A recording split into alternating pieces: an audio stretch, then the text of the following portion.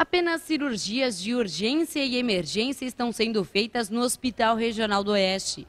Segundo a administração, o hospital realiza cirurgias e procedimentos de alta complexidade acima do teto financeiro estipulado pelo SUS.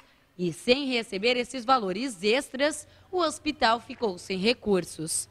Em nota, a administração explica que a medida foi adotada para garantir os atendimentos de urgência. A Secretaria de Estado e o Ministério da Saúde vão se reunir esta semana em Brasília para buscar uma solução para essa dívida que já está há seis meses de atraso. Além do atraso da dívida das cirurgias, a administração também alega que a tabela do SUS está desatualizada com um déficit de 10 anos. O Hospital Regional do Oeste atende toda a região de Chapecó, além de 26 municípios do sul do Paraná e do norte do Rio Grande do Sul.